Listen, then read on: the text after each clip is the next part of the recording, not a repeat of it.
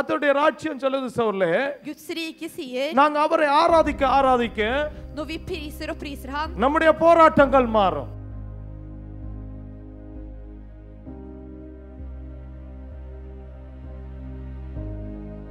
அப்ப கத்தர் சொல்கிறார் யுத்தத்தை வெல்ல உன்னிடத்திலே கரம் உண்டு. Men Gud sier du har hender som kan krige, stride i krig. உன்னுடைய கரம் எனக்காய் உயர்த்தப்பட வேண்டும். Når hendene dine løftes mot meg, ஆனா அது மாத்திரமல்ல. உயர்த்தப்படுகிற கைகள் பரிசுத்தமாய் இருக்க வேண்டும் De hender som løftes må være rene og åndelige.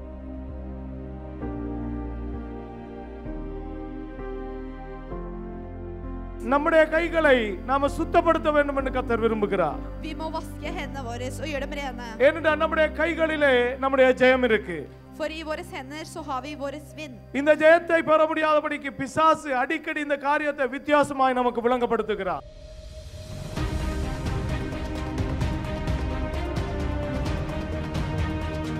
இந்த நாள்ல கத்தர் நமக்கு ஆராதனை குறித்து சொல்லுகிறார். நம்முடைய கரங்கள் கத்தருக்கு தேவையாயிருக்கிறது. ராஜ்யத்தை எட்டுகிற கரங்களாய் நம்முடைய மாமிச கரங்கள் மாற வேண்டும்.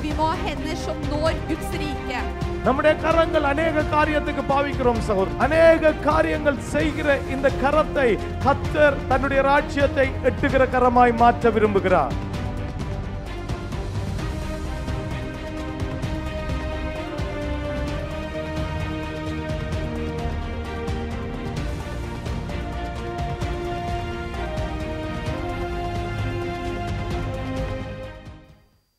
புலம்பல் மூன்று நாற்பத்தி ஓராவது வசனம். எல்லாருமாய் நாங்கள் சேர்ந்து வாசிக்கலாம். La oss løfte hjerte og hender til Gud i himmelen. நாம் நம்முடைய கைகளோட கூட நம்முடைய இருதயத்தையும் பரலோகத்தில் இருக்கிற தேவனிடத்திற்கு ஏறெடுக்க கடவோம். இரக்கமுள்ள எங்கள் அன்பின் ஆண்டவரே பரிசுத்த தெய்வமே இந்த அருமையான பரிசுத்த ஓய்வு நாளுக்காய் உமக்கு நன்றி செலுத்துகிறோம். கர்த்தர் நீர் ஓய்ந்திருந்து எங்களை ஆசீர்வதிக்க காத்திருக்கிற தேவன் என்றதை அறிந்திருக்கிறோம் ஆண்டவரே.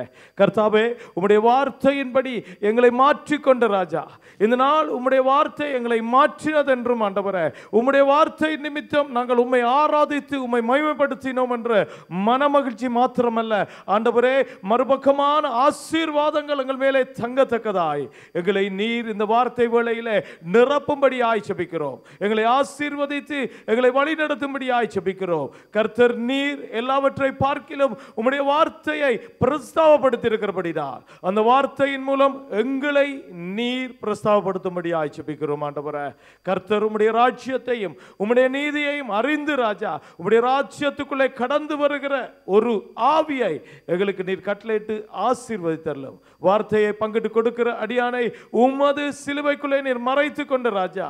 உம்முடைய நாமத்தை மாத்திரம் நீர் மைமைப்படுத்தி ஆண்டவரை உயர்த்தும்படியாய் செபிக்கிறோம் இயேசுவின் நாமத்தை பிதாவே. ஆமென். ஆமென். ஆமென். உட்காருவோம். ஹalleluya Halleluja. ஹalleluya Halleluja. கர்த்தருடைய பரிசுத்த நாமம் மகிமைப்படுவதாக Guds navn være priset. கத்தர் நம்மோட கூட இருந்து செய்கிற காரியம் பலத்ததாய் இருக்கும் என்று கத்தர் சொன்னார்.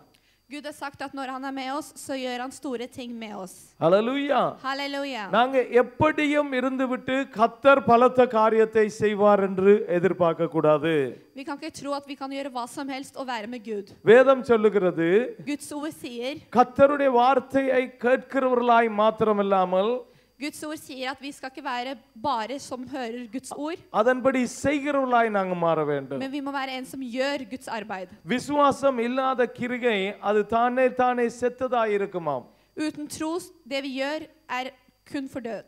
நாங்க சில நேரம் விசுவசிக்கலாம் சகோதரர்களே Vi kan tro i noen tilfeller, ஆனா தனியா விசுவாசம் கிரியை செய்யாது men det er ikke det som, kun troen som gjør det. சில நேரம் நாங்க கிரியை செய்து கொண்டிருப்போம் ஏதாவது காரியம் செய்வோம் Noen ganger så kan vi gjøre noe, ஆனால் எங்களுக்கு விசுவாசம் இருக்காது men da har vi ikke troen med இந்த oss. ரெண்டு காரியமும் ஒரடியாக சேருகிற போதுதான் அங்கே ஒரு பெரிய ஒரு மாற்றம் வரும் Når disse to tingene går sammen, det er da et stort ting skjer.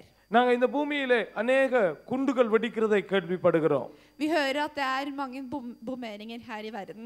மலைகளை உடைக்கிற குன்றுகள் உண்டு சகோதரர்களே Det, er- fins bomber som kan sprenge et fjell. நாங்கள் இருக்கிற தேசத்திலே பெரிய பெரிய மலைகள் இருக்கிறது Tilbake i hjem, hjemmelandet så fins det store fjell. அந்த மலைகள் இருந்த இடங்களிலே இன்றைக்கு அந்த மலைகள் இல்ல அவைகள் தகர்க்கப்பட்டு அவைகள் மனுஷர் வாழ்கிற இடங்களாய் மாறிவிட்டது På, på, det stedet det var fjell tilbake i hjemlandet, er det ikke nå lenger, for det er blitt bombert bort, og nå bor folk der. மலையை தகர்க்கிறதற்கு ஒரு காரியம் பாவிக்கிறாங்க De bruker en ting for å sprenge et fjell. அது சொல்லுவாங்க டைனமைட்னு சொல்லி Det heter dynamitt. அது அங்கே ஒரு வெடிபொருள் இருக்கிறது சகோதரர்களே Det fins noe som kan sprenge. அது மிகவும் பயங்கரமானதும் அது மிகவும் வலிமை உள்ளதுமாயிருக்கு Det er veldig skremmende og veldig sterke saker. அது எவ்வளவு வலிமை உள்ளதா இருந்தாலும் Hvor, hvor sterk det kan være, எவ்வளவு பயங்கரமானதா இருந்தாலும் hvor enn skummel det kan være, அதோடு கூட சேர்க்கப்பட வேண்டிய காரியங்கள் சேர்க்கப்படாவிட்டால் அதில் ஒரு வலிமையும் இல்லை men hvis det ikke- ikke er noen saker som går sammen med det, så, skjer ikke, så virker ikke det stoffet. அங்கே சொல்லுவார்கள் டிஎன்டி என்று சொல்லப்படுகிற ஒரு பெரிய மிகவும் பயங்கரமான வெடிமருந்து இருக்கிறது Det fins et stoff som heter TNT, som er b- brukt til bombering. அது வெடித்து சிதறுகிற போது அங்கே பெரிய ஆபத்துகளை பெரிய விபத்துகளை கொண்டு வரும் Når det sprenger, så skaper det stort eh, tom, Altså det ødelegger veldig mange områder. இப்படிப்பட்ட காரியங்களை மலைகளை தக- தகர்க்க பாவிக்கிறாங்க சகோதரர்களே Det er de tingene de bruker for å sprenge et fjell. ஆனால் இந்த டிஎன்டி சொல்லப்படுகிறது Men det som heter TNT, ஒரு டெட்டனேட்டர் என்று சொல்லப்படுகிறது அதாவது அது ஒரு திரி அதிலே கொளுத்தப்படாவிட்டால் அதிலே ஒரு வலிமையும் இல்லை altså det fins noe som kan tennes på TNT. Hvis ikke den tennes på, så sprenger den ikke. அது எத்தனை கிலோ டிஎன்டியை நீங்க கொண்டு வந்து வைத்தும் வெடிக்க ஒன்றும் செய்யாது சோதரே Selv om du har veldig mange kilo av TNT, så har ikke du saken som tenner den på. எத்தனையோ. கிலோ நீங்க குண்டு வெடிமருந்தை கொண்டு வந்து இடத்துல வச்சாலும் அது ஒன்றுமே செய்ய போறதில்ல Hvis du tar med deg veldig mange kilo TNT på området her, så skjer det ingenting hvis du ikke gjør noe med det. அதை வெடிக்க பண்ணுகிறதற்கு ஒரு திரி அங்கே வைக்கப்படும் Det fins noe som du kan tenne på på den TNT-en. அந்த திரியை அவர்கள் எரித்து விடுவார்கள் அல்லது அதற்கு ஒரு சின்ன எலக்ட்ரிக் ஷாக் கொடுப்பார்கள் For å tenne denne eh, delen, så bruker de noe elektrisk.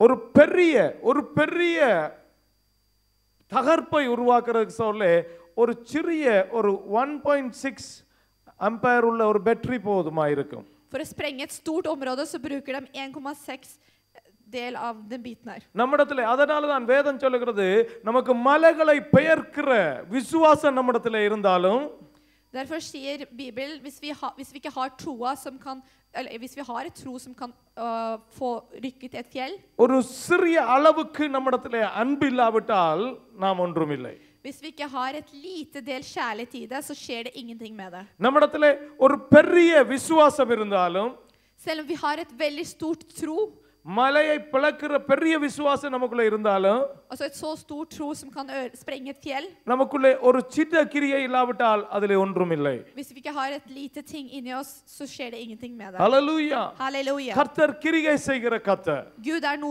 en som gjør ting.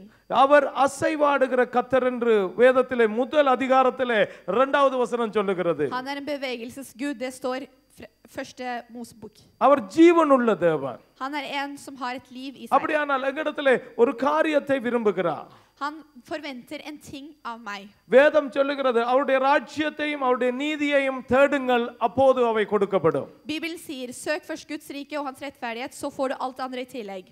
கத்தர் சொல்லுகிறார் தேவனுடைய ராஜ்யத்தையும் நீதியையும் என்று சொல்லி போட்டு விடவில்லை அவர் சொல்றார் தேடுங்கள் Gud har ikke stoppet med å si Guds rike og rettferdighet. Han sier 'søk'. மீதியானது எல்லாம் எங்களுக்கு கொடுக்கப்படும் Og da får vi alt det andre i tillegg. நாங்க எங்களுடைய வாழ்க்கையில என்ன செய்கிறோம் தெரியுமா Hva er det vi gjør i vårt liv?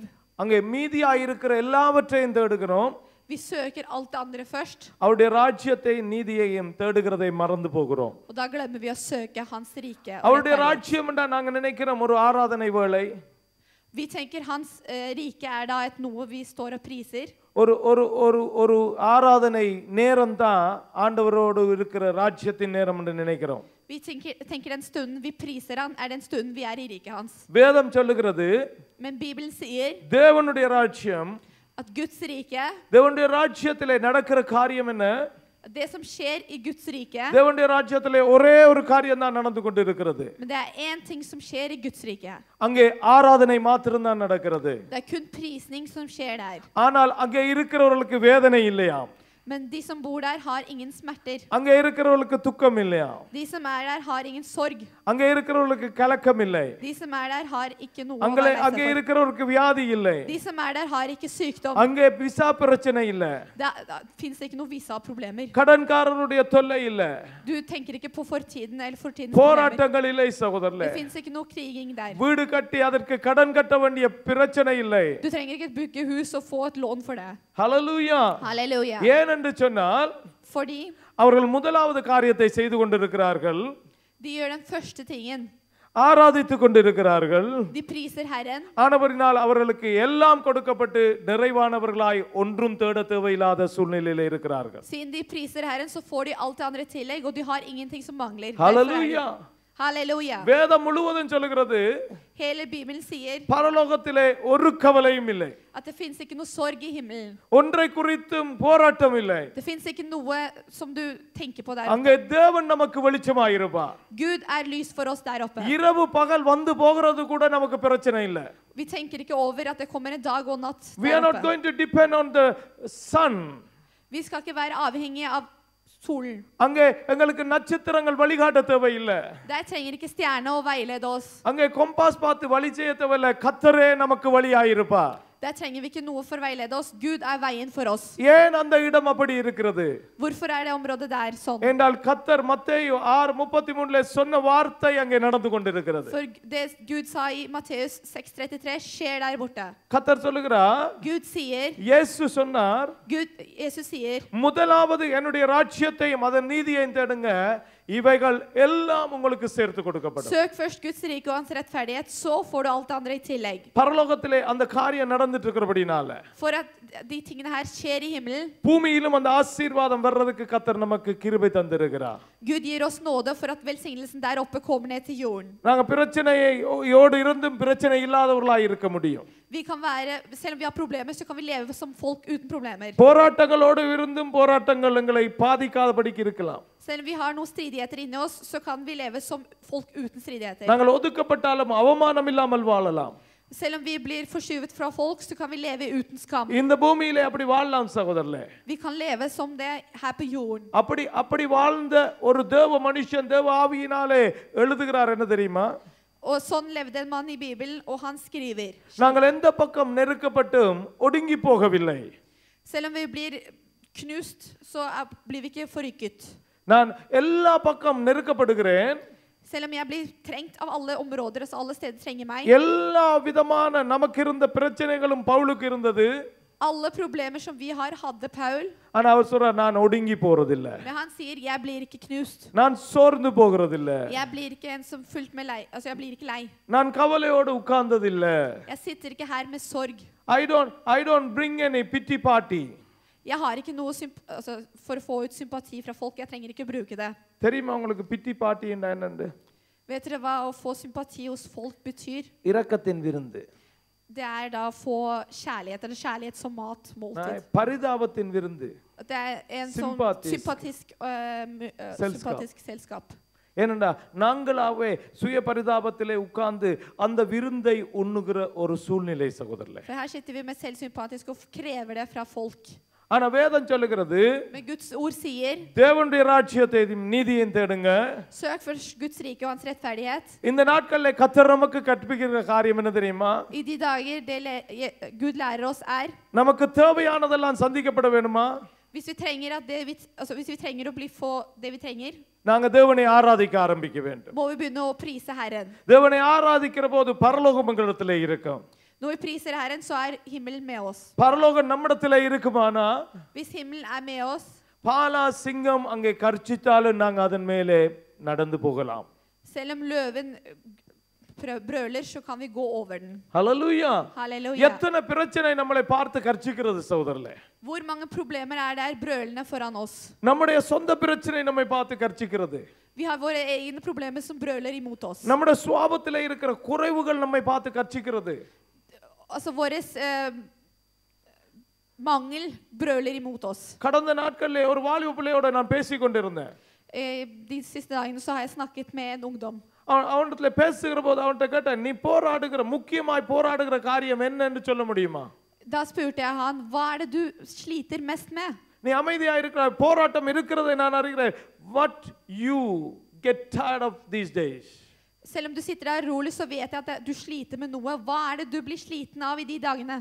அவன் பேசி கொஞ்ச நேரத்திலே சகோதரே Etter at jeg snakket med han, og en liten கண் stund etter, கலங்கி கண்ணீரோடு சொன்ன காரியம் så begynte han å øh, gråte og sa, si sa dette her. நாங்க நினைக்கிற மாதிரி பெரிய போராட்டம் இல்ல Det er ikke et stort problem som vi tenker. ட்ரக்ஸ்ல இருந்து நான் விடுதலை ஆக வேண்டும் என்று அவன் சொல்லவில்லை Han sa ikke at jeg må få befrielse fra, alk- altså fra எனக்கு இருக்கிற கூடாத பழக்கங்கள்ல இருந்து விடுதலை ஆகணும் அதான் கஷ்டம்னு சொல்லவில்லை Han sa ikke at jeg trenger å få befrielse fra that answer shocked me Men det han svarte, det sjokkerte meg. அந்த அந்த விடை என்னை அதிர்ச்சியாக்கினது சகோதரர்களே Det svaret sjokkerte meg. அவனுடைய பிரச்சனை என்ன தெரியுமா Vet dere hva hans problem var? அவனுடைய கண்ணீருக்கு காரணம் என்ன தெரியுமா Vet dere hva grunnen for hans tåre var? jeg sliter og prater med andre எனக்கு மற்றவங்களோட கதைக்கிறது கஷ்டமா இருக்குது நான் போராடுகிற ஒரு காரியம் மற்றவங்களோட கதைக்கு எனக்கு கஷ்டமா இருக்கு Det jeg sliter, er å få snakket med andre. Is it not a shocking thing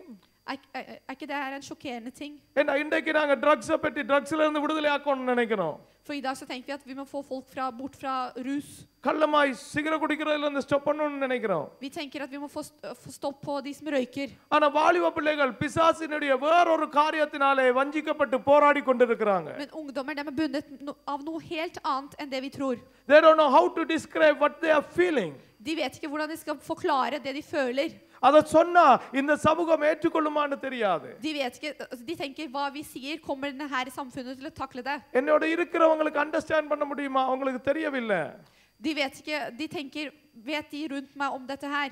கண்ணீரோடு இருக்கிறாங்க சகோதரர்களே De sitter her med tårer og gråt. But அவங்க என்ன தெரியுமா அதை சொல்லிட்டா தாங்க டஃப் இல்லாத ஆக்கள் என்று நினைப்பாங்கன்னு அதையும் சொல்லாம போராடி கொண்டிருக்கிறாங்க De tenker hvis vi forteller det her til andre, så mister de tøffheten sin, og derfor så sier de ikke det her til andre. தங்களை எப்படி நினைப்பாங்கன்றது அவங்களுடைய போராட்டம் De tenker hva andre tenker om altså dem. எங்களை பிள்ளையா கணக்கு போட்டுருவாங்கன்னு பிள்ளைகள் கவலைப்படுது பயப்படுறாங்க Barna tenker at folk kommer til å mistolke dem, så derfor sier de ingenting. நான் ஜெபிக்க போற நேரம் மிகவும் வருத்தப்பட்டேன் Når jeg begynte å be, så begynte jeg å bli veldig lei. என்ன எனக்கு தெரியும் கூச்சம் இருந்திருக்கு எனக்கு For jeg vet at jeg har hatt எனக்கு eh, வெக்கம் இருந்திருக்கு இன்னும் இன்னும் போராட்டம் இருக்கு ஃபேஸ் பண்றதுக்கு fortsatt så er det problemer å møte her, ஆனால் அதிலே இருந்து கத்தர் விடுதலையாக்கி கொண்டு வருகிறார் men Gud befrir fra den. ஹalleluya Halleluja. ஹalleluya Halleluja. கத்தருடைய ராஜ்யம் சொல்லுது சோர்லே Guds rike sier நாங்க அவரை ஆராதிக்க ஆராதிக்க når vi priser og priser Han, நம்முடைய போராட்டங்கள் மாறும் kommer alle de problemene eh, hos oss நம்முடைய. போராட்டங்கள் மாறாததுக்கு இருக்கிற காரணம் நாங்கள் ஆராதனையிலே குறைவுள்ளவர்களாய் இருக்கிறோம் Grunnen til at ikke problemene våre forvandler seg, er det mangel på prisen. வேதம் சொல்லுகிறது நாம் ஆராதிக்கிறதுக்கு முதலாவது எங்களுடைய சரீரத்தை பரிசுத்த காணிக்கையாக கத்தருக்கு ஒப்பு கொடுக்க வேண்டுமா Guds ord sier for å begynne å prise Herren, så må vi gi vår kropp til Han. எங்களுடைய சரீரத்தோடு கூட ஜீவனிலே ஆவியோட உண்மையோட நாங்க ஆராதிக்க வேண்டும் என்று வேதம் சொல்லுகிறது vi må gi vår sjel og ånd og kropp til Herren. அதனால தான் கடந்த நாட்கள்ல நாங்க படிச்சு கொண்டு வருகிறோம் Derfor så er de siste dager så har vi lært ஆவியானவர் நமக்கு விளங்கப்படுத்தி கொண்டே வருகிறார் Gu- eh, Guds ånd lærer oss om dette her. மாமிசமான இந்த சரீரம் At her er kroppen her. ஆவிக்குரிய ஆராதனை எப்படி செய்ய முடியும் Hvordan kan vi ta frem en åndelig eh, prisning frem til Herren? மாமிசமான கண்கள் Menneskelig øye ஆவிக்குரியவற்றை காண வேண்டும் அப்போது என்னுடைய கண்களிலே ஆராதனை உருவாகும் Menneskelige øyne må se Guds eh, bruke dem gjennom Guds ånd. ஹalleluya Halleluja. மாமிசமான என்னுடைய நாவு Menneskelige tunge ஆவிக்குரிய தேவனை ஆராதிக்க துதிக்க தொடங்க வேண்டும் det må begynne å, å be den hellige Gud. நம்முடைய காரியங்களை பேசாமல் கத்தருடைய மகிமையை நாங்க சொல்ல வழிகிடுகிற போது நம்முடைய மாமிச நாவு ஆவிக்குரிய ஆராதனை அங்கமாய் மாறுகிறது Hvis vi går fra vår menneskelige del og begynner å skal prise Herren, så kan det åndelige inni oss அதே போல உலகத்திலே பேசப்படுகிறதையும் இருக்கிற போராட்டங்களின் சத்தத்தையும் இந்த மாமிச காதுகள் கேட்காதபடிக்கு ஆவிக்குரிய தேவன் பேசுகிறதை நான் கேட்க உற்று நோக்க கொடுக்கிற போது அவருடைய சித்தம் நம்முடைய வாழ்க்கையில வெளிப்படுகிறது Vi må ikke bruke det menneskelige ører og øyne for å se Herren. Vi må bruke det åndelige øyne og ører for å høre Herren. ஆண்டவர் சொல்லுகிறார். இந்த மாமிச சரீரம் தன்னை ஆராதிக்க முக்கியமானது Gud sier at dette her menneskelige kropp er viktig for å tilbe Han. ஏனென்றால் மரித்தவர்கள் தேவனை ஆராதிக்க மாட்டார்கள் என்று வேதம் சொல்லுது Guds ord sier de døde kan ikke prise Herren. தூங்குகிறவர்கள் தேவனை ஆராதிக்க மாட்டார்கள் சொல்லுகிறது De som sover, kan ikke prise Herren. நித்திரையில நாம தேவனை ஸ்துதிக்க முடியாது சகோதரர்களே Vi kan ikke prise Herren i søvne. இது மாமிசத்துக்குரிய நித்திரையில ஆவிக்குரிய நித்திரையில ஆவி எழுந்திருக்காது Dette her er menneskelig søvn som øl, får bort det åndelige, sø, åndelige delen, og da sover vi ikke. ஆனபடினாலே நம்முடைய அங்கங்களை கத்தருக்கென்று ஆவிக்குரியதாய் மாற்ற வேண்டும் என்று கத்தர் நமக்கு கற்பிக்கிறார் Derfor så vil Gud at vi skal ofre alle menneskelige lemmer til Han. ஆராதிக்கிறதுக்கும் ஜெயம் எடுக்கிறதுக்கும் இன்னும் இருக்கிற ஒரு காரியம் நம்முடைய கரங்கள் Og den andre biten er for å prise Han og få ø, pri, vind i dette her, er våre hender. இந்த நாள்ல கத்தர் நமக்கு ஆராதனை குறித்து சொல்லுகிறார் நம்முடைய கரங்கள் கத்தருக்கு தேவையாயிருக்கிறது De, de, I dag så skal Gud snakke med oss om hendene som, er, som vi trenger for å prise Herren. ராஜ்யத்தை எட்டுகிற கரங்களாய் நம்முடைய மாமிச கரங்கள் மாற வேண்டும் Vi må ha hender som når Guds rike. நம்முடைய கரங்கள் அநேக காரியத்துக்கு பாவிக்கிறோம் சகோதரர்களே Vi bruker våre hender for mange Ting. நம்முடைய கரத்தினாலே வேலை செய்கிறோம் Vi jobber, arbeider med hendene våre. நம்முடைய கரங்களாலே அடிக்க முடியும் Vi kan slå med hendene. நம்முடைய கரங்களாலே கொலை செய்ய முடியும் Vi kan drepe en med våre hender. நம்முடைய கரங்களாலே களவு செய்ய முடியும் Vi kan stjele med våre hender. அநேக காரியங்கள் செய்கிற இந்த கரத்தை கத்தர் தன்னுடைய ராஜ்யத்தை எட்டுகிற கரமாய் மாற்ற விரும்புகிறார் Det er så mye som kan gjøres gjennom våre hender. Gud Eh. vil forvandle det til hans rike. ஏனென்றா இந்த மாமிச கரத்தில இருக்கிற மகிமை நமக்கு தெரியாது சத்துருவுக்கு தெரியும் Vi vet ikke viktigheten med de hender vi har, men det vet Satan. வாழ்க்கையில அடிக்கடி தோத்து போகிறோம் Vi, ta, vi taper i, vår, eh, i dag, altså livet vårt. இஸ்ரவேலருடைய வாழ்க்கையிலே அவர்களுடைய எதிரியினாலே அவர்கள் தோற்று அடிக்கப்பட்டு கொண்டிருந்தார்கள் I, I de dagene så var Israel Altså, de tapte kampen. எடுத்து பாருங்க யாத்திரையாகமம் பதினேழாம் அதிகாரம் வாசித்த பகுதிக்கு போவோம் Ta andre Mosebok, det vi leste i stad. பதினேழாவது அதிகாரத்திலே நாங்க வாசிப்போம் Kapittel 17 kan vi lese. வாசிச்ச பகுதியில வாசிப்போமா எட்டாவது ஏழா எட்டாவது La oss lese det vi har, eller dere har lest. அமலேக்கியர் வந்து ரெவிதேமிலே இஸ்ரவேலரோடே பு- யுத்தம் பண்ணினார்கள்.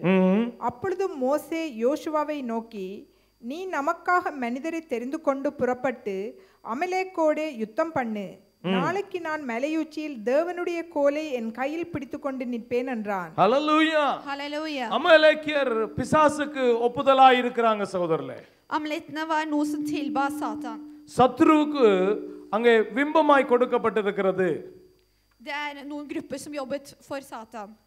அவர்கள் சத்ருவுக்காக கொடுக்கப்பட்டிருக்கிற illustration Å ja, eh, altså det er Amalettene er en illustrasjon som illustrerer Satan. ஏனென்றால் சாத்தான் ஒரு நாளும் ஒரு காரியத்துல தோற்று விட்டு நம்மை விட்டு போகிறவன் அல்ல நல்ல விளையும் கொள்ளுங்க Satan er ikke en som kommer til oss og taper og går bort. அவன் நம்மை சோதிக்கிறவன் முதலாவது Han er en som prøver oss ut.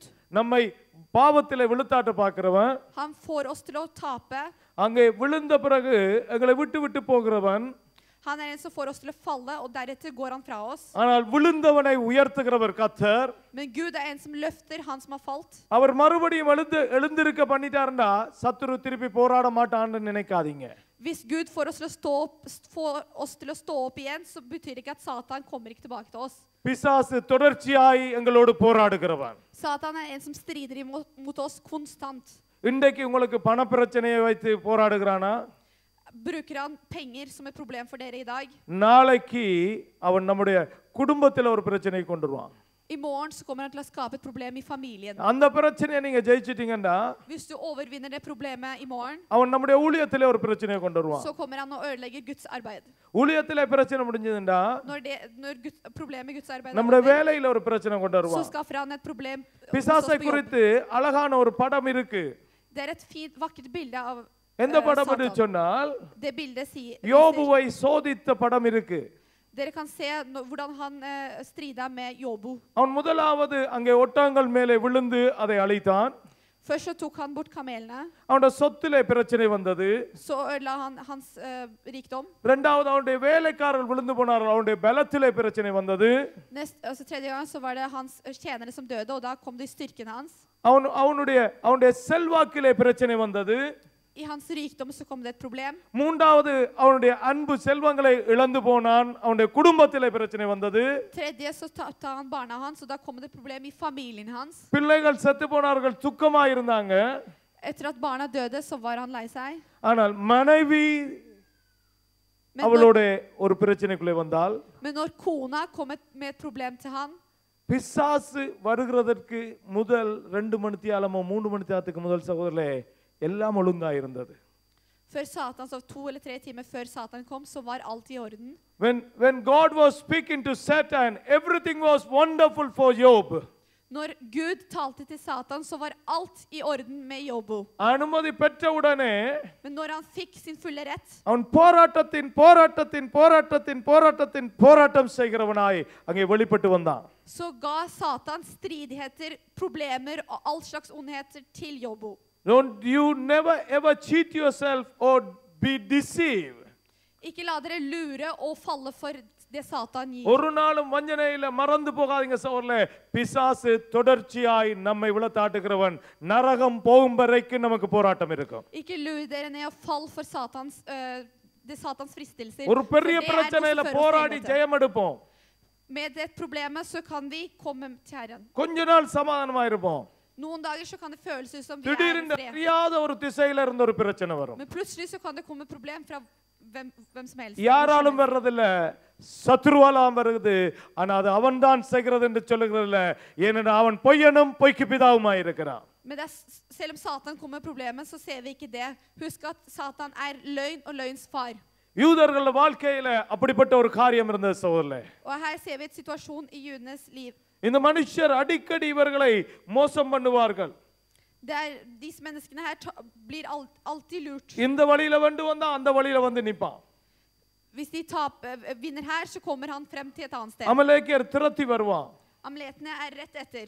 ரெண்டு சந்ததி முடிஞ்சு மூன்றாவது சந்ததியில இன்னொருவன் பிறப்பான் அவன் சொல்லுவான் யூதரை கொல்லணும்னு சொல்லுவான் Andre slekten er over, tredje slekten så blir det født en som kommer imot juderne igjen. இன்றைக்கு வரைக்கும் இப்படி ஒரு போராட்டம் இருக்கு யூதருக்கு Til den dags dato i dag så er det et problem for jødene. சத்துரு அப்படிதான் வருகிறான் Det er sånn Satan kommer. ஆனா கத்தர் கத்தருடைய மனுஷனை கொண்டு சொன்னார் நான் ஜெயிப்பேன் Men Gud sier, med Guds mann så kommer jeg til å vinne dette her. நான்- நான் ஏதேன் தோட்டத்துல சொன்னதை மோசையோட காது கேட்கும்படிக்கு எழுதி வாசி என்று சொன்னார் Det jeg sa i Edens hage, det skal Moses gjøre, og det skrive opp, sa Moses. அவனுடைய வித்துக்கும் உங்களுடைய வித்துக்கும் பகையை உருவாக்குவேன் For hennes æt og hans æt så kommer det til å være et problem. உன்னுடைய வித்து இவனை ஜெயிக்கும் அவனை குதிகாலினாலே நசிக்கும் Din æt kommer til å vinne, og nå- han kommer til å tråkke på hælene. அதே வசனத்தை தான் கத்தர் அங்கே சொன்னார் மோசே அதை எழுதி வாசித்தான் Og det samme verset sa han, og det skrev Moses ned. பதினைந்தாவது வசனம் சொல்லுகிறது I vers 15 så sies det, மோசே ஒரு பலிபீடத்தை கட்டி da bygde Moses et alter, Jehovah நிசி என்று பெயரிட்டு og kalte det Herre அமலேக்கியன் er ditt கைக்கு கத்தருடைய C- சிங்காசனத்துக்கு விரோதமாயிருக்கபடியால் Et hånd på Herren, øh, for å gå eh, vent da, Herrens banner. Herren skal kjempe mot amletene fra slekt til slekt.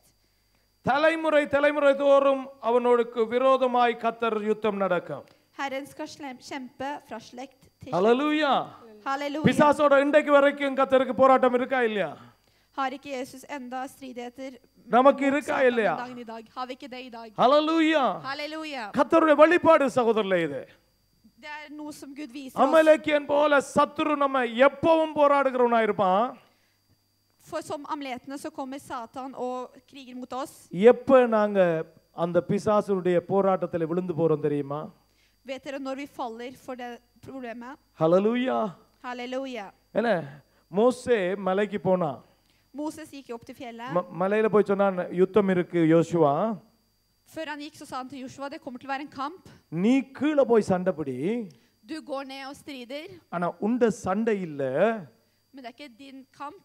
என்னுடைய கையில தான் ஜெயம் இருக்கு Det er mine hå- hender som kommer til å gi deg vind. Hallelujah Halleluja. Joshua is a good soldier. Joshua er en god soldat. குதிரை யுத்த நாளுக்கு ஆயத்தமாயிருக்கும் Når hesten er klar for krigens dager, ஆனா ஜெயம் கத்தருடைய கரத்திலே இருந்து வருகிறது men ø, vinden kommer fra Herren. Halleluja.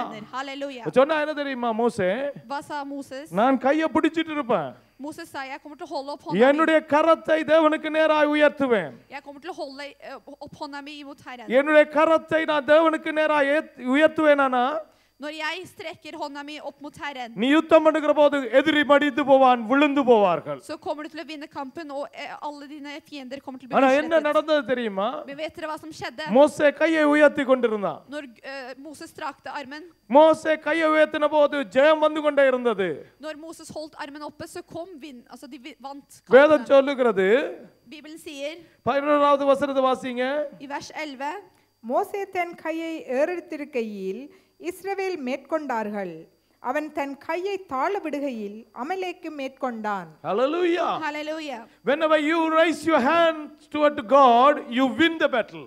Når du rekker opp hånda di mot Herren, så vinner du alle kampene. பாருங்க கையில இருக்கிற மகிமை அமலேக்கியருக்கு முன்னால தான் தெரிஞ்சது Se dere, den styrken vi har i hånda, det vistes når kampen var mot amalettene. இதுக்கு பின்னணியில இருந்த காரியம் என்ன சகோதரர்களே Hva er tingen som var på bakgrunnen av dette her? என்ன இருக்கு மோசேட கையில Hva er i Moses sine hender? இந்த கைதானே ஒருவன் கழுத்தை நெரிச்சு கொண்டது Det er jo de hender som drepte en. பாவம் செய்த கை Det er jo, en, de, det er jo de hender som syndet. கொலை செய்த கை Det er de hender som drepte. தேவனுக்கு பிரியமில்லாதை நடப்பித்த கை Det er de hender som gjorde noe ikke Gud likte. ஆனா அந்த கையை தேவன் பரிசுத்தப்படுத்தி தனக்குண்டு உயர்த்துற போது Men når Gud velsignet hånda og ble brukt for å rekke opp hånda imot Herren, அதுவே ஜெயம் எடுக்கிற கையா இருக்கு så ga den hånda en ny. ஹalleluya Halleluja. ஹalleluya Halleluja. நம்முடைய கரங்கள் சகோதரர்களே Våre hender, நம்முடைய கரத்தினுடைய செயல்கள் de tingene vi gjør med våre hender, அது நம்மை தேவனுக்குள்ளே வெற்றியுள்ளவர்களாய் மாற்றும் det kommer til å forvandle oss som et vind for Herren. நாம தேவனை ஆராதிக்க நம்முடைய கரங்களை எப்படி பயன்படுத்துறோம் Hvordan bruker vi hender når vi priser Herren? வேதம் சொல்லுது Guds ord sier, வாசிங்க ஒன்று திமத்தேயு les 1 Timoteus ரெண்டு எட்டு வாசிங்க 2 til 8. அன்றியும் புருஷர்கள் கோபமும் தர்க்கமும் இல்லாமல் பரிசுத்தமான கைகளை உயர்த்தி எல்லா இடங்களிலேயும் ஜெபம் பண்ண வேண்டும் என்று விரும்புகிறேன் ஹalleluya Halleluja. what the reason er grunnen? ஏன் ஏன் கையை உயர்த்தணும் கையை கீழே போட்டு இருந்தா ஜெபம் கேட்க மாட்டார் ஆண்டவர் Hvorfor må vi løfte opp hånda? Kan ikke hånda være nede, og så får vi velsignelse for Herren? கையினுடைய அடையாளங்கள் என்ன சகோதரர்களே Hva er tegnet på hendene? ஏன்னா யாராவது நம்முடைய முதுகுல ஒரு ஆயுதத்தை வச்சா என்ன செய்யறோம் நாங்க Hvis noen kommer med noe bak ryggen på oss, hva, altså, hva gjør vi da? என்னுடைய வாழ்க்கையில நான் ஒரு அப்ளை பண்ணியிருக்கிறேன் En gang i livet så har, jeg, har han எனக்கு opplevd ஒரு. பதினைந்தரை பதினாறு வயசு இருக்கும் 15-16 års alder. இரவையில் மட்டக்களப்பு தலைநகரத்துல ஒரு பெரிய பிரச்சனை Eh, han hadde noe problem med தகராறு வந்தது கலவரம் வந்தது சகோதரில் Det kom et problem. Han var med i et krangel. எல்லாம் முடிஞ்சு நான் நினைக்கிறேன் பதினைந்து வயசு இருக்கும் Han tenker at han er 15 år. எல்லாம் முடிந்தது நாங்க சர்ச்சுக்கு போறோம் நாங்க ஃப்ரெண்ட்ஸ் எல்லாருமா நாங்க சர்ச்சுக்கு போகிறோம் இரவு Etter dette her, eh, så dro, etter kirken, nei, til kir dro han til kirken. மயான அமைதி சிட்டிக்குள்ள Det var helt stille. டவுனுக்குள்ள Helt stille i byen. அங்க சைக்கிள்ல போய் கொண்டிருக்கிறோம் Da kjørte han sykkel. எங்களுக்கு தெரியாது சட சடண்டு சப்பாத்து சத்தம் கேட்டது பூட் சத்தம் கேட்டது Men da hørte vi plutselig noen som kom. டக்குன்னு பார்த்தா ஏதோ ஒரு காரியம் என்னுடைய முதுகுல தட்டுகிறத பார்த்தேன் ஒரு இரும்பு ஏதோ ஒன்று முதுகுல தட்டுறது Plutselig så kjente han at det var noen som tok, uh, dytta han bak. ஏனென்று தெரியாது Han vet ikke hvorfor. Cycle handle விட்டுட்டு நான் கையை உயர்த்தினேன் Jeg vet ikke hvorfor, men i, det, i den stunden så slapp han sykkelen og, reist, tok opp, rakte ut hånda. I don't know why I did it Jeg vet, han vet ikke hvorfor han gjorde det. இப்போ கிட்டத்துல தான் நான் ஆராதனை செய்கிற போது நான் அதை உணர்ந்தேன் Men det er nå nylig så har han kjent på hvorfor han என்ன gjorde det. தெரியுமா சகோதரர்களே Vet dere hva? பயங்கர சூழ்நிலையில Når det er en, s- en skremmende situasjon, நான் சரணடைகிற ஒரு காரியம் i en skremmende situ situasjon når du ofrer deg, så rekker, reis, rekker du opp ஏன்னா hånda. கண்ண தடவையில் அவன் கையை உயர்த்த சொல்ல தேவையில்ல தூக்க வச்சா நாங்க கையை உயர்த்திடும் I mange En- stunder så sier vi at vi skal rekke opp hånda, men når noen kommer imo- imot med pistol, så re rekker vi opp ஏனென்றா நான் நிரபராதி என்று காட்ட for å vise at vi gir oss. நான் என்னாலே ஒன்று முடியாது என்று சொல்ல For å vise at 'jeg kan ikke gjøre noe'. நான் நான் உன்னோட யுத்தம் பண்ண வரவில்லை என்று தெரிவிக்க For å vise at 'jeg kommer ikke for å krige mot deg'. Hallelujah Halleluja. ஏன் தேவனுக்கு முன்பதாய் கையை உயர்த்துறோம் Hvorfor må vi rekke, ut, rekke opp hånda? நான் உம்மிடத்துல சரணடைகிறேன் ஆண்டவரே Jeg ofrer meg selv foran deg, I Herre. My Jeg ofrer meg selv. அது ஒரு அடையாளம் சகோதரே கர்த்தாவே I am surrendered Det er et tegn. Gud, jeg ofrer meg. என்னுடைய யுத்தம் உம்முடையது நான் உம்மிடத்திலே சரணாகதி அடைகிறேன் Mitt krig er ditt. Jeg ofrer meg foran deg. நான் என்னை ஒப்புக் கொடுக்கிறேன் Jeg ofrer meg. நான் ஒரு ஒரு ஒன்று முடியாதவன் என்றதை நான் ஒப்புக்கொள்ளுகிறேன் Jeg kan ingenting. Jeg ofrer meg. அதனால தான் வேதத்திலே கத்தர் சொல்லுகிறான் Derfor så sier han i Bibelen புருஷர்கள் at mennene, முக்கியமாக at mennene må அவர்கள் ஆத்திரப்படுகிறவர்களாய் கோபப்படுகிறவர்களாய் மாத்திரமல்ல De må ikke være folk med sinne, தங்களுடைய கரங்களை தேவனுக்கு முன்பதாய் உயர்த்தி எல்லா இடத்திலும் ஜெபம் பண்ண வேண்டும் என்று நான் விரும்புகிறேன். men de må løfte opp hendene og be for andre. Det er det Gud vil. ஏன் புருஷர்கள் சகோதரர்களே Hvorfor ble det mennene? என்ற புருஷன் தலையாய் இருக்கிறான் என்று வேதம் சொல்லுகிறது For mennene er hodet. தன்னுடைய தன்னோடு கூட இருக்கிற எல்லாருக்கும் அவன் பொறுப்பாய் இருக்கிறான் என்று வேதம் சொல்லுது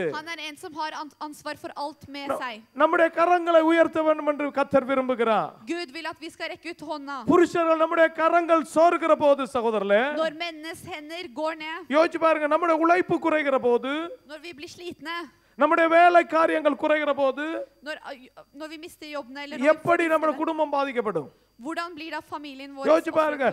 இல்லையா ஒருவர் வேலையை இழந்தால் ஒரு புருஷன் வேலையை இழந்தால் அந்த வீட்டிலே பாதிப்பு வரும் Når en mann mister jobben sin, tenk på hva som skjer med familien. ஒரு ஒரு ஒரு கணவனுடைய உழைப்பு நின்று போனால் அது பெரிய பாதிப்பை கொண்டு வரும் Det, når en mann slutter på jobben, så kommer det til å bringe store problemer for familien. ஆனபடினாலே அவர் தன்னுடைய கைகளை உழைப்புக்காக எப்போதும் உற்சாகமாய் வைத்துக் கொள்ள வேண்டும் Derfor så må mannen være alltid klar for å jobbe for Herren, og derfor må han bruke hendene sine. கை என்று சொல்லும் போது it's indicate the work Når, når vi ser hånda, så betyr det et arbeid. கை என்று சொல்லுகிற போது சொல்ல இந்த கை மாத்திரமல்ல நம்முடைய உழைப்பை சொல்லுகிறது Når vi sier om, snakker vi om hånda, så betyr ikke det her hånda, men det arbeidet vi gir. நம்முடைய வேலைகள் பாடுகளை சொல்லுகிறது Det sier hvor mye vi strider. அப்ப நம்முடைய பாடுகள் நம்முடைய உழைப்பு காரியங்களை குறித்து கத்திரிடத்திலே நாங்கள் உயர்த்தி சொல்லுகிறவர்களாய் மாற வேண்டும் என்று கத்த விரும்புகிறார் Vi må glemme alle stridende problemene vi har, og rekke ut hånda mot Herren. ஹalleluya Halleluja. ஹalleluya Halleluja. இது பழைய ஏற்பாட்டு வழிமுறை இல்ல சகோதரர்களே Det er ikke noe som ble talt i Gamle testamentet. Det er ikke den veien குடும்பத்தை காக்க for å redde familien, உறவை காக்க for å vokte familien. எப்பவுமே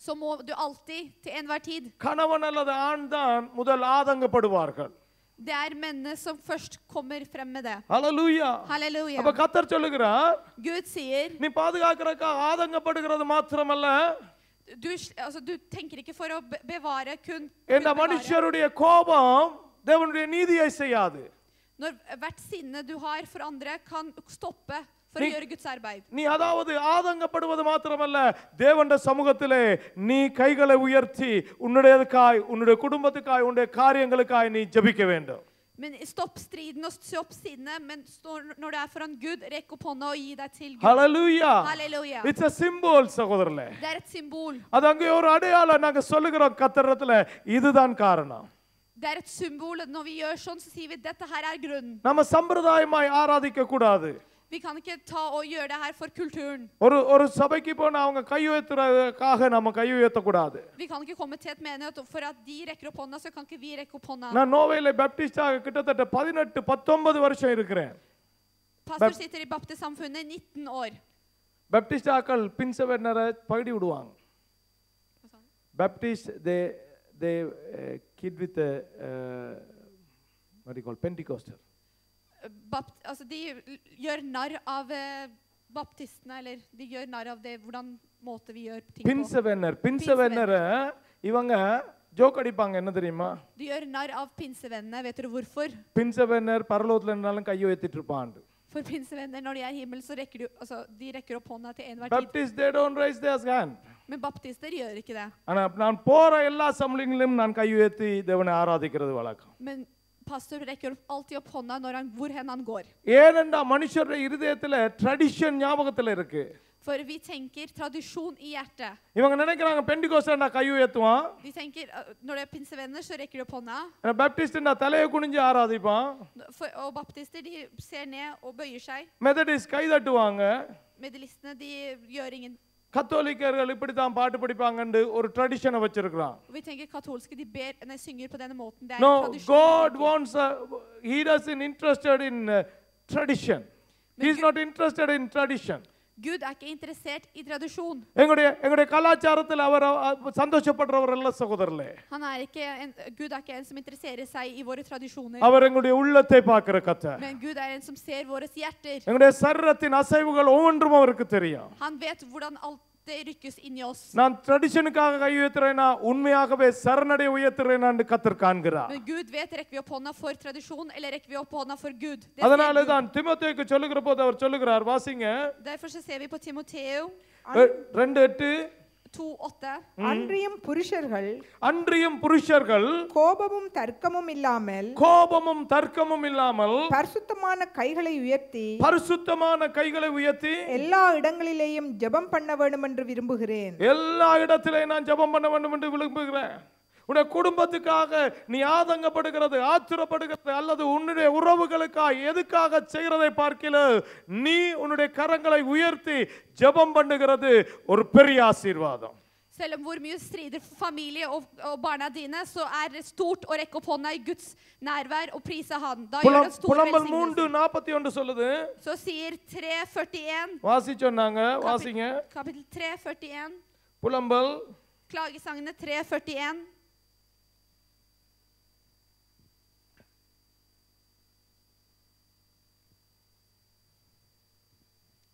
நம்முடைய கைகளோடே நாம் நம்முடைய கைகளோட கூட நம்முடைய இருதயத்தையும் பரலோகத்தில் இருக்கிற தேவனிடத்திற்கு ஏறெடுக்க கடவோம் ஹalleluya oss løfte hjerte og hender til Gud i himmelen. Halleluja.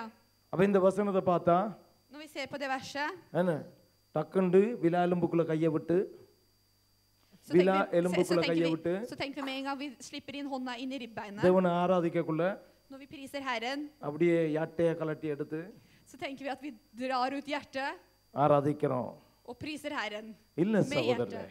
Det er ikke det verset sier. அவர் சொல்ற என்ன தெரியுமா Det som blir fortalt her, er கரங்கள் உயர்த்தப்படுகிற போது når hendene løftes, நம்முடைய உள்ளம் கத்தருக்காய் உயர்த்தப்படட்டுமா så løfter hjertet inni oss til Halleluja. Herren. Halleluja. நம்முடைய பரிசுத்த கரங்களை உயர்த்த வேணுமா Det åndelige, og hendene må løftes opp for Herren. அதனாலதான் தாவீது சொல்லுகிறான் சங்கீதம் இருபத்தி ஆறு Derfor så sies det i Salme 26, ஆறுல இருந்து எட்டு வாச்சு பாருங்க. இருபத்தி ஆறு. கர்த்தாவே நான் துதியின் சத்தத்தை தொனிக்க பண்ணி உம்முடைய அதிசயங்களை எல்லாம் விவரிப்பதற்காக நான் குற்றமில்லா குற்றமில்லாமையிலே என் கைகளை கழுவி உம்முடைய பீடத்தை சுற்றி வருகிறேன். அல்லேலூயா. அப்ப வேதம் சொல்லுது பரிசுத்த கரங்களை உயர்த்தி நாங்க தேவனை ஆராதிக்கட்டுமா Gud sier, ta opp de åndelige hender og pris Herren. நம்முடைய நம்மள்ட்ட இருக்கிற விதமான கைகளை அல்ல Det er ikke de hendene vi har, பரிசுத்தமான கைகள் men åndelige hender. அப்ப பரிசுத்தமான கைகளுக்காய் தாவீது என்ன சொல்றானா Hva sier David for dette her? அவர் என்ன சொல்லுகிறார் Det David sier, கர்த்தாவே Gud, நான் உம்மை ஆராதிக்கும்படியாய் for å prise deg, உம்மை துதிக்கும்படிக்காய் for å lovprise deg, நான் முதலாவது என்ன செய்கிறேன் தெரியுமா hva gjør jeg først? என்ன செய்கிறேன் நான் தேயர். குற்றாமில் குற்றமில்லாமையிலே என் கைகளை கழுவி உம்முடைய பீடத்தை சுற்றி வருகிறேன் Jeg hallelujah vasker mine hender i uskyld, Herre, så jeg det- kan gå omkring ditt alter. என்னுடைய கர- கரத்தின் கிரியைகளை ஆண்டவரே நான் களைந்து விடுகிறேன் Alt det hendene mine har gjort, det vasker jeg bort, Herre. என்னுடைய கையினாலே நான் செய்த வேலைகளை எடுத்து விடுகிறேன் ஏனென்றா பரிசுத்த தேவன் உம்மை பரிசுத்தத்தோட ஆராதிக்கும்படியாய் Jeg tar bort det hendene mine har gjort, og priser deg med rene hender, Herre. அப்படி இந்த கையை தண்ணியில கழுவிட்டு வந்தா போதுமா Holder det med at du vasker dine hender og kommer inn hit? நம்முடைய கை எப்போது பரிசுத்தமாகும் Når er det hendene våre blir rene eller åndelige? நம்முடைய கையின் வேலைகள் கத்தருக்கு பிரியமாய் மாறும்போது சகோதரர்களே Når det arbeidet vi gjør med hender, når Ne- Gud liker det vi gjør med hendene våre. நம்முடைய நான் சொன்னேன் ஆரம்பத்தில் நம்முடைய கையால் அநேக வேலை செய்கிறோம் På starten så sa jeg at du gjør mye ting, arbeid med hendene. வேலை செய்கிறோம் உழைக்கிறோம் Vi tjener og jobber med hendene. இல்லையா Ikke sant? நாங்க அடிக்கிறோம் Vi slår. என்ன அப்பா அம்மாவுக்கு தெரியும் Far og mor vet om dette her. சொல்லிவிடாதீங்க Ikke si det til noen. என்ன அணைக்கிறோம் சகோதரர்களே Vi klemmer en med hånda. நாங்க சில பேர் கொலை செய்து விடுகிறாங்க Og noen dreper med de hendene. சில பேர் திருடுகிறாங்க Noen stjeler med de hendene. அப்ப இந்த கரங்கள் இதே நிலையில தேவனுக்காய் உயர்த்தப்பட முடியாது Hendene som er slike, kan ikke løftes på den samme måte opp til Herren. இப்படிப்பட்ட கரங்கள் உயர்த்துகிற போது அமலக்கியன் முறையடிக்கப்பட மாட்டான் Det er ikke når slike hender løftes opp, det er ikke da amalettene vinner, eh, eller taper. அப்ப சொல்றார் கத்தர் நமக்கு ஒரு பரிசுத்த கரம் வேணும் Derfor så sier Gud vi må ha et åndelig rent hånd. அதனால தான் தாவீது சொல்லுகிறான் Derfor så sier David, நல்லா பாருங்க சகோதரர்களே se dette her nøye. தாவீது தன்னுடைய கரத்தினாலே அநேக காரியம் செய்த மனுஷன் David var en som gjorde veldig mange ting med sine hender. அதனால தான் கத்தர் அவனை தேவாலயத்தை கட்ட அனுமதிக்கவில்லை Derfor så lot ikke Gud eh, David å bygge tempelet. தாவீதுக்கு சொன்ன ஒரே ஒரு வார்த்தை For til David så ble det fortalt én ting. நீ மில்லியன் கணக்கான தங்கத்தை வச்சிரு Selv om du har million kilo av gull, உன்னுடைய இருதயத்திலே விருப்பத்தின்படி எனக்காக வைரங்கள் வைதுரியங்கள் அங்கே மரங்கள் கல்லுகள் எல்லாவற்றையும் சேர்த்தடு du kan ha alt av diamanter, gull og alt som, av rikdommer hos deg. என்ன உன்னுடைய இருதயத்திலே எனக்கு ஒரு ஆராதனை கூடாரம் செய்ய வேண்டும் என்றது உண்ட விருப்பம் Men jeg ser at i hjertet så har du et ønske om å bygge et alter for meg. ஆனா அந்த விருப்பத்துக்காய் நான் உன்னை அதை செய்ய விடுகிறேன் Og for det, den ønsken så lar jeg deg gjøre det. அதாவது தேவாலயத்துக்கு தேவையான எல்லா செல்வத்தையும் அதற்குரிய ஈவையும் நான் கட்டளையிடுவேன் Det som betyr med dette her er at han ga alt uh, som trengs வேதம் சொல்கிறது. தூர தேசத்திலே இருந்து அநேகர் கொண்டு வந்து அவனிடத்திலே பரிசுகளாய் கொடுத்தார்களாம் var mange fra mange andre områder som kom med masse ting til David. எல்லா தயவையும் தருவேன் Jeg gir deg alt det du trenger, ஆனா உன்னுடைய கரங்கள் ரத்தம் பட்டிருக்கிறபடினா men sine, di, siden dine hender er blodskyld, உன்னுடைய மகன் தான் என்னுடைய தேவாலயத்தை så கட்டுவான் kommer din sønn til å bygge alteret for meg. Hallelujah Halleluja. தேவன் he's a very perfect god Gud, han er en perfekt Gud. இரக்கம் தருகிறவர் சகோதரர்களே Han er en som er, gir oss kjærlighet. தயவு தருகிறவர் Han er en som gir oss hjelp. கிருபை தருகிறவர் Han er en som gir oss nåde. தாவீது இயேசுவுக்கு முன்பதாய் பிறந்து விட்டான் David var født før Jesus, அவனுக்கு அவனுடைய கரங்களை கழுவுகிற கிருபை இருக்கவில்லை men han hadde ikke nåden for å vaske hendene sine. ஆனா இயேசுவுக்கு பின்னால வந்த எங்களுக்கு அந்த கிருபை இருக்கிறது Men vi som kommer etter Jesus, har nåde til å Halleluja. vasket hendene. Halleluja. வேதம் சொல்லுகிறது சகோதரர்களே Bibelen sier இயேசு கிறிஸ்துடைய ரத்தம் at Guds blod அது எந்த பெரிய பாவத்தையும் கழுவி நம்மை நீதிமானாக்க வல்லமை det உள்ளதா kan இருக்கு vaske bort hva som helst synd og få oss til å bli vasket ren. அப்ப கத்தர் சொல்கிறார் யுத்தத்தை வெல்ல உன்னிடத்திலே கரம் உண்டு Men Gud sier du har hender som kan krige, stride i krig. உன்னுடைய கரம் எனக்காய் உயர்த்தப்பட வேண்டும் Når hendene dine løftes mot meg, ஆனா அது மாத்திரமல்ல ikke bare det. உயர்த்தப்படுகிற கைகள் பரிசுத்தமாய் இருக்க வேண்டும் De hender som løftes, må være rene og åndelige. Hallelujah. Halleluja. How much clean we have in our hands. Hvor rene er vi i våre hender? எங்களுடைய கையில எத்தனை காரியங்கள் இருக்கு Hvor mange ting har vi i våre hender? எத்தனை காரியங்களை செய்ய இந்த கையை பாயபிக்கிறோம் Hvor mange ting bruker vi dette henne, de Halleluja. hendene til? Halleluja. ஹalleluya Halleluja. நாங்க இந்த கையால செய்கிறத நாங்க ஒருவர் தான் அறிவோம் Men det er mange ting vi gjør med dette her hånda her. ஏன் நம்முடைய வாழ்க்கையில அமலேக்கியர் அடிக்கடி யுத்தம் பண்ணி கொண்டே இருக்கிறான் Hvorfor kriger amalettene i livet vårt som ofte som bare det? ஏன் நம்முடைய கை சோர்ந்து போகுது Hvorfor faller hendene våre? ஏனென்றா எங்களுடைய கரத்துல நாங்க சுத்தம் இல்லை Grunnen til det er at vi ha, har ikke rene hender. சில வார்த்தையில உண்மை பேசலாம் Noen kan snakke sant, ஆனா செயல்ல நம்முடைய கைகள் உண்மையானதை செய்யவில்லை men når de begynner å gjøre noe, så er de ikke så sanne. ஹalleluya Halleluja. கத்தருக்கு பிரியமில்லாத காரியத்தை கைகள் எடுக்குதா Hvis det er noen ting som Gud ikke liker, tar, det, tar, tar hendene dine det. கத்தரை துக்கப்படுத்துகிற காரியங்களை இந்த கை செய்யுதா Gjør du noe ting som gir sorg til Herren? என்ன தெரியுமா இன்றைக்கு இருக்கிற போராட்டம் Vet dere hva utfordringene i dagens dato er? வாலிப பிள்ளைகளிடத்திலிருந்து நான் கற்றுக்கொண்டது என்ன தெரியுமா Vet dere hva jeg lærte fra ungdommene? நாங்க செய்யறது பெரிய காரியம் இல்லை At det var ikke så store ting vi gjorde. கத்தர் பெருசா சின்னன இல்ல சகோதரர்களே நம்முடைய செயல்ல சரி பிள்ளையை பார்க்கிற கத்தர் Gud ser ikke stort eller smått, men han ser hva vi gjør rett og galt. அது பெரிய காரியம் இல்லை Det er ikke et stort ting. இன்னைக்கு பிசாசுடைய வஞ்சனை அப்படித்தான் நீ செய்யறது பெரிய காரியம் இல்லை Det er det Satan sier. Det du gjør, er ikke நான் så ஒரே stort. சொல்லுகிற ஒரு எக்ஸாம்பிளை திரும்பவும் சொல்லுகிறேன் Det, jeg sier det alltid, og jeg sier det igjen. இல்லையா வேலைத்தளத்துல லாகர்ல ஆயிரக்கணக்கான டாய்லெட் ரோல் இருக்கு Hvis du har veldig mange, lag, altså veldig mange eh, toalettpapir på jobben ஒரு ரோல் எடுத்தா பாவமா hvis, hvis vi tar ene papiren, er det et synd? ஒரு roll எடுத்தா என்ன பாதிக்கப்பட போகுதா Tror dere de taper noe av å miste en?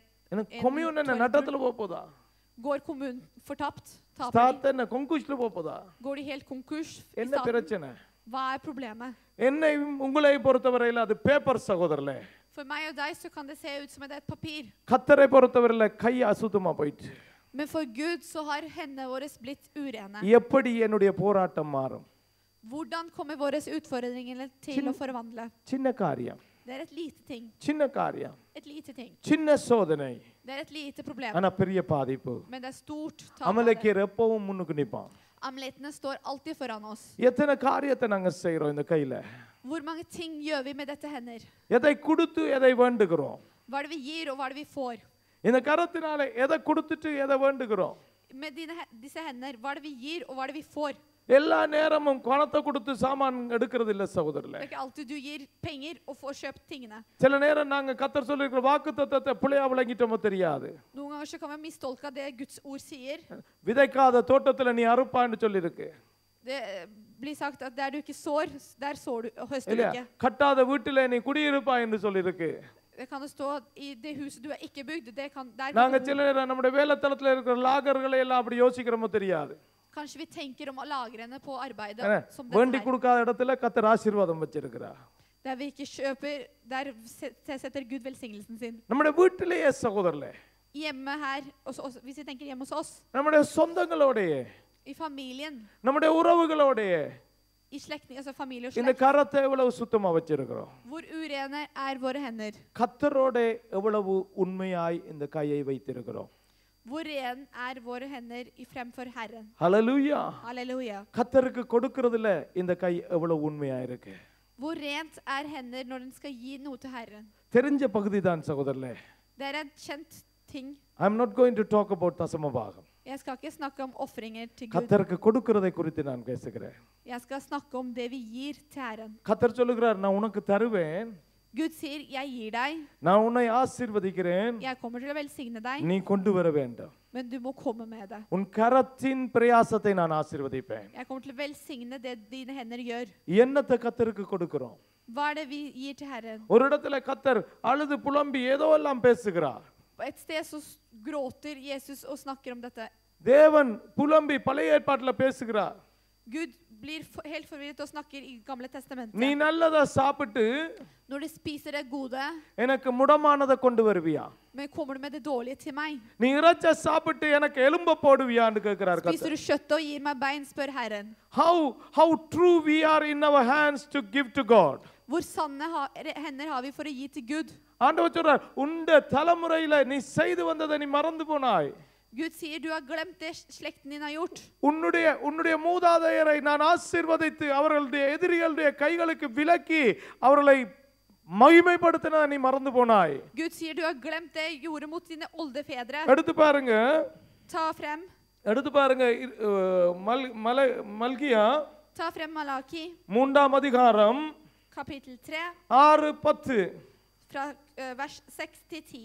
ஆறுல இருந்து பத்து வரைக்கும் கத்தர் சொல்லுகிறத Fra vers til 10 så sier Herren, எவ்வளவு கொடுக்குறீங்க என்ன கொடுக்குறீங்கன்றது அது கத்தருக்கும் உங்களுக்கும் இருக்கிறது hvor mye jeg gir og hva du gir er mellom deg og Herren. ஆனா நாங்க என்ன செய்கிறோமா Men hva er det vi gjør? நம்முடைய கையினாலே நாங்க தேவனுக்கு முன்பதாய் சுத்தமாய் இல்லை என்றதை கத்த சொல்லுகிறார் Gud sier vi er ikke rene i de hendene vi har. Hallelujah Halleluja. வாசிங்க Les.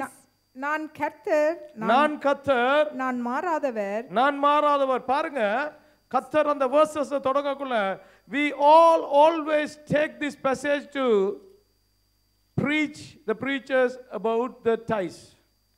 Eh, தசம பாகத்தை குறித்து பேசுறதுக்கு பிரசங்கிகள் பாய்ப்பாங்க. அல்லது நாங்க யாரோடையும் அதை குறித்து சம்பாஷிக்கிறதுக்கு பாய்ப்போம். ஆனா கத்தர் ஆரம்பிக்கும் போது அவர் அவரை குறித்தே பேசி ஆரம்பிக்கிறார். Se på dette her. Gud snakker om seg sjøl, men når vi, skal, når vi bruker dette her, bruker vi for å gi andre eh, til Guds arbeid. ம்.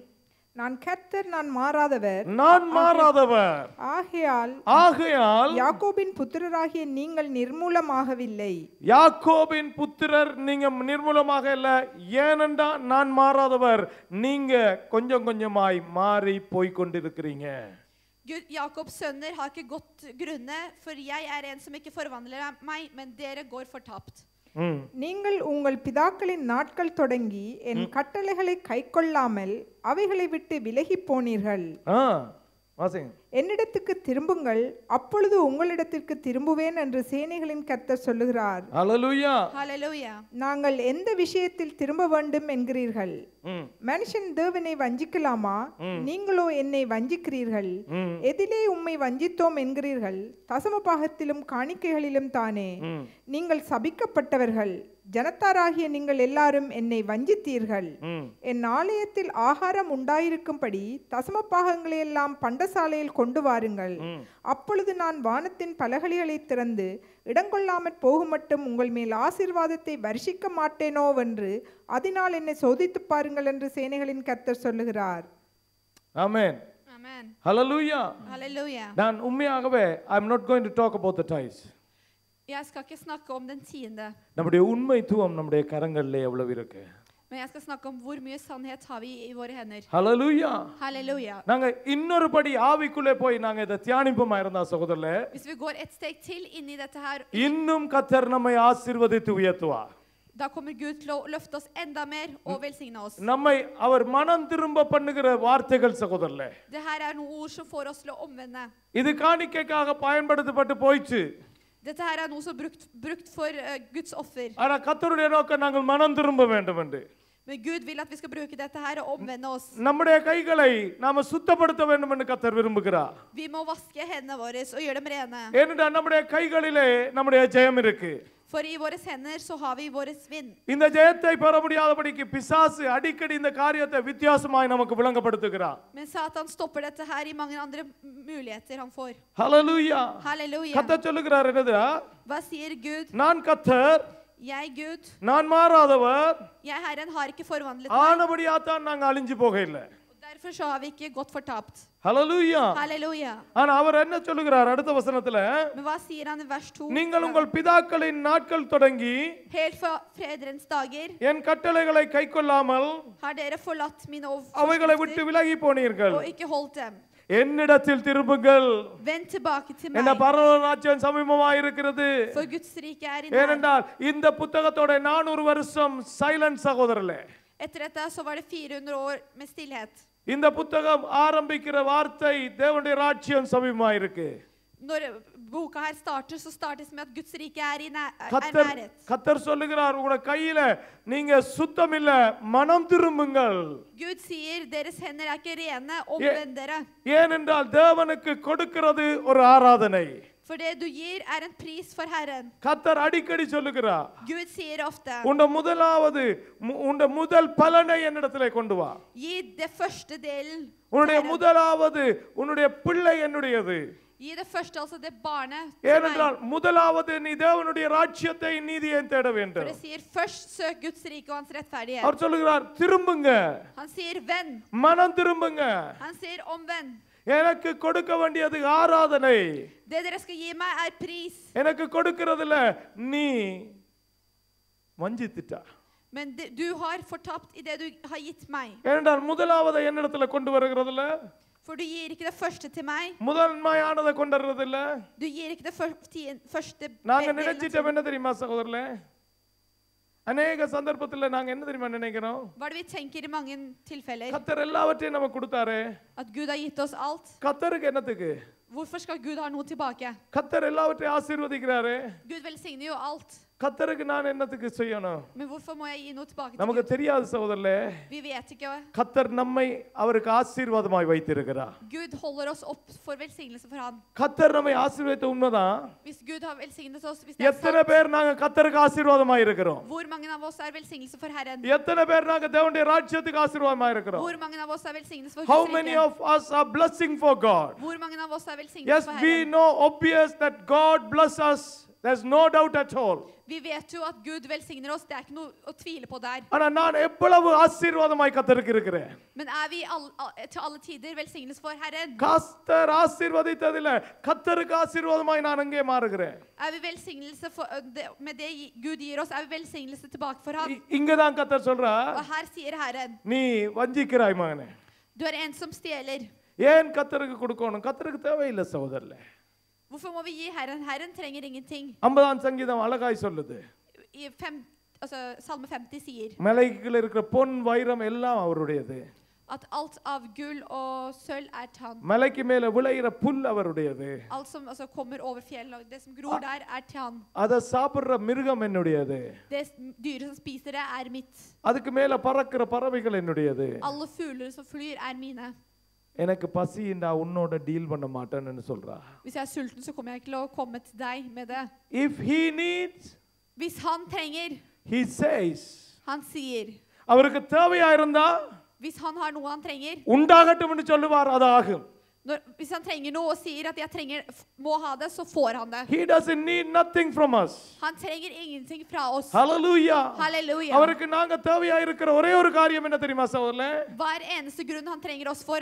நாங்க அவருக்கு தேவை அவரை ஆராதிக்கிறதுக்கு Han trenger oss for å prise han. எங்களை ஆராதிக்கிறதே இல்லாம வேறொன்றுக்குமாய் அவர் நம்மை உருவாக்கவில்லை Han har ikke skapt oss for noe annet enn å prise han. அதனாலதான் சொல்றார் உன்னை கைய இப்ப சுத்தப்படுத்து Derfor så sier han, gjør hendene deres rene nå. நீ போய் check பண்ணிப்பா Gå, og tenk, øh, gå og se på dette her. நீங்களே நிதானிச்சறீங்க Dere kan tenke på dette her. நீ தந்தா நான் உன்னை ஆசீர்வதிக்க மாட்டேனான்ட்டு நீ வேணும்டா சோதிச்சு பாரு Du kan prøve han ut med å si, hvis jeg, ja, hvis jeg gir, kommer du ikke tilbake, og så velsigne meg. Prøv dette. உன்னுடைய பணம் எனக்கு தேவையில்லை Jeg trenger ikke dine penger, உன்னுடைய பணம் நீ அடுத்த லெவலுக்கு போறதுக்கு உனக்கு blessing தேவை men du trenger velsignelse for å gå til det andre steget. உன்னிட்ட இருக்கிறத நீ ஒளிச்சா Hvis du gjemmer det du har, நீ உன்னிடத்துல இருக்கிறதை மறைத்தா hvis du gjemmer bort det du har, உன்னிடத்துல இருக்கிறதை கொடுக்கிறதுக்கு உன்னுடைய கைகள் கூச்சப்படுமானா hvis hendene dine stopper for å gi det du, det du har, நீ அடுத்த நிலைக்கு போக முடியாது da går du ikke til den andre nivåen. நீ வானத்தினுடைய பலகனி திறக்கிறதை காண முடியாது Du kan ikke se at himmels...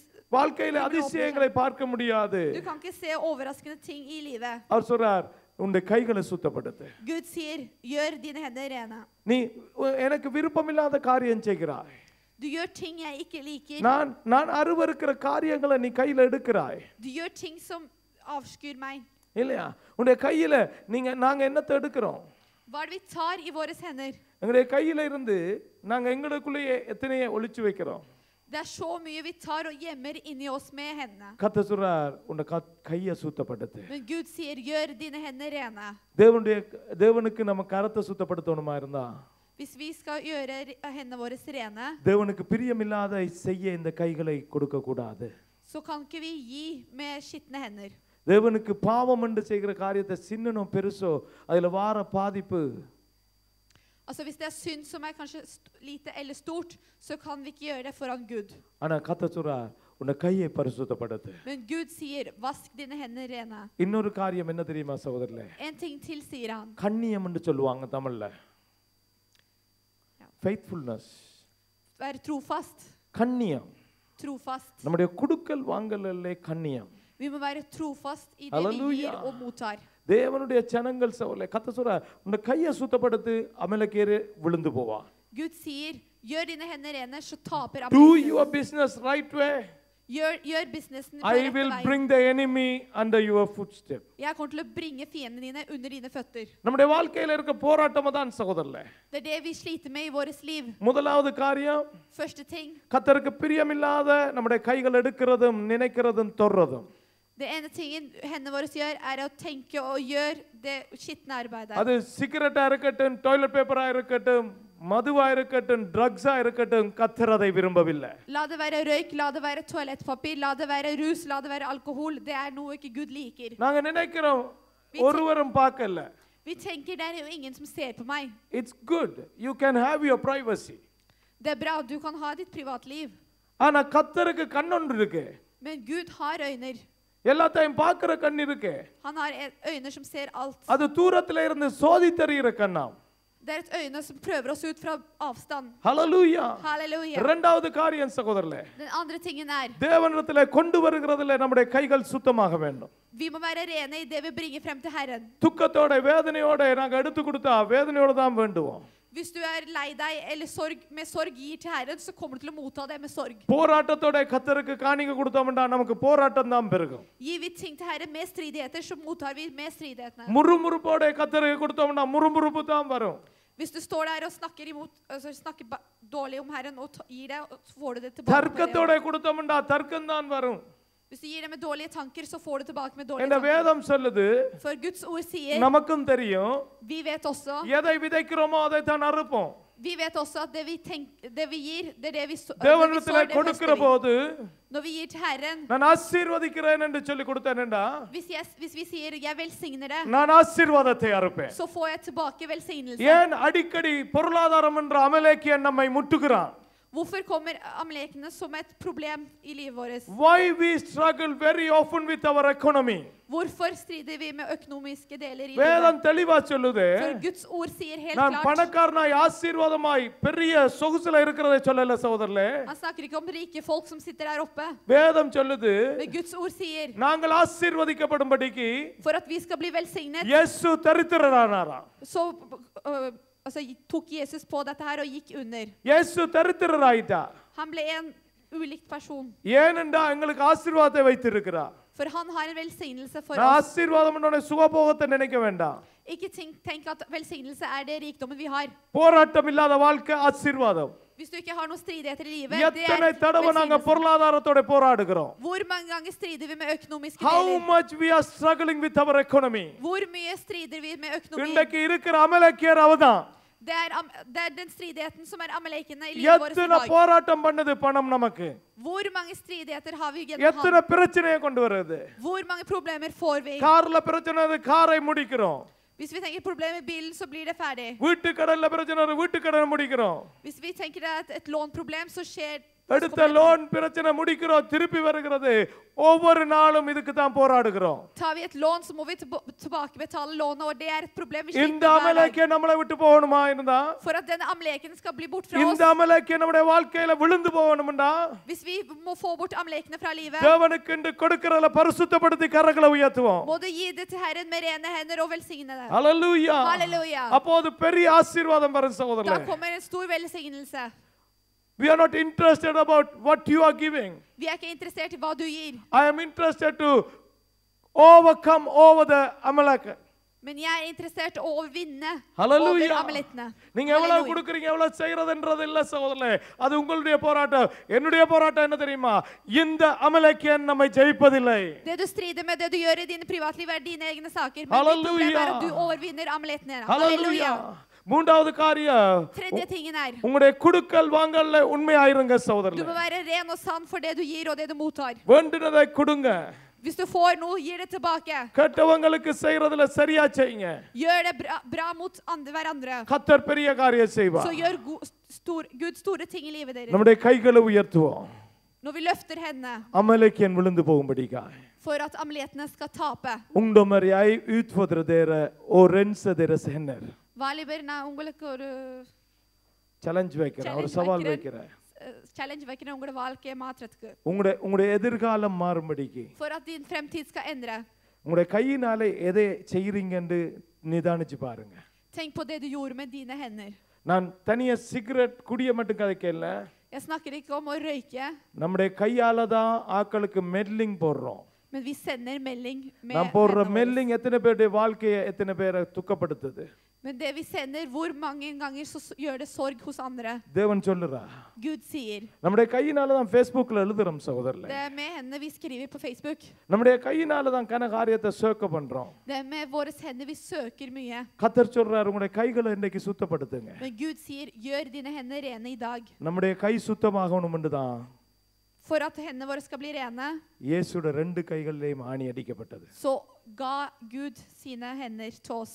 இயேசுடைய ரத்தத்துல gjennom Jesu blod, நம்முடைய கரங்கள் கழுவப்படட்டும் så har våre hender blitt vasket. ஹalleluya Halleluja. இன்னைக்கு ஒரு தீர்மானம் எடுத்தா சகோதரர்களே La oss ta et eh, mål i dag. நம்முடைய வாழ்க்கையில இருக்கிற அமலேக்கியன் இன்றைக்கு விழுந்து போவான் At amlettene i livet vårt må bli நம்முடைய. பிள்ளைகளுடைய வாழ்க்கையில அவன் தொடர்ந்து வருவதில்லை. மோசையோட சண்டை பிடிச்சவன் யோசுவாவோட விழுந்தான் Han som krangla med Moses, tapte hos Joshua. ஹalleluya Halleluja. ஹalleluya Halleluja. ஹalleluya Halleluja. அவன் யோசுவாவோட தோத்தவன் திரும்பி வந்தாலும் தாவீதோடு விழுந்தான் Og selv om han som ko- tapte hos Joshua, kom tilbake, så tapte han igjen hos David. கத்தர் வா- காலத்துக்கு காலம் ஜெயிப்பேன்னு சொல்றா Gud sier 'jeg å- vinner fra tid til tid', ஆனா நம்முடைய பரிசுத்த கரங்களை உயர்த்தணும் men vi må få opp våre åndelige hender. கத்தருக்கு எவ்வளவு உண்மையா கொடுக்கிறோம் சகோதரர்களே Hvor mye er vi sann hos Herren? Hvor En- mye gir vi med sannhet? எதை நாங்க உற்சாகமாய் கொடுக்கிறோம் Hvor m- masse gir vi med ivrighet? பலகணிகள் திறக்கப்பட கொடுக்கிறோமா Gir vi det for at t- å, målene skal åpnes? அல்லது நம்முடைய நம்முடைய ஆசீர்வாதங்கள் அடைக்கப்பட கொடுக்கிறோமா Eller gir vi det for at velsignelsen skal stoppes? Gud vil velsigne oss.